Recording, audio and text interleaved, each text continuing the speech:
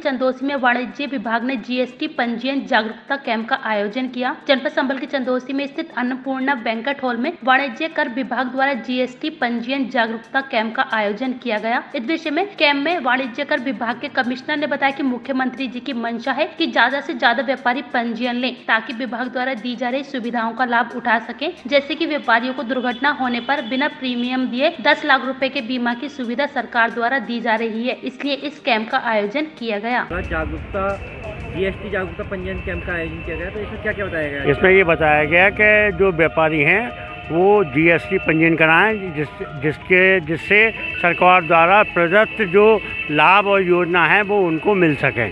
जैसे कि दुर्घटना व्यापारी के लिए कोई दुर्घटना बीमा है उसकी दस लाख रुपए गवर्नमेंट ने बिना किस्त के देगी।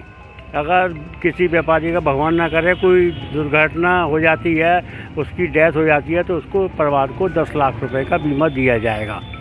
इसी और वो बेधड़क होकर अपना व्यापार भी कर सकता है और सरकारी योजनाओं में लाभ हम लोग आए थे पंजीयन की जो हमारे माननीय मुख्यमंत्री जी का ये आह्वान है कि अधिक से अधिक व्यापारी भाई पंजीयन की सीमा में जो हैं वो पंजीयन लें। अगर जो पंजीयन की सीमा में नहीं भी हैं तो भी पंजीयन लें ताकि उनको विभाग की जो योजनाएँ हैं, उसका लाभ उठाएँ। जैसे कि बिना प्रीमियम अदा किए दस लाख रुपए की सुविधा उपलब्ध है।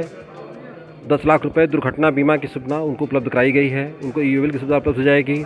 उनका किसी प्रकार से कोई उत्पीड़न नहीं होगा, होता है उसमें। बिना भय के पंजीयन कराएँ वो जो है।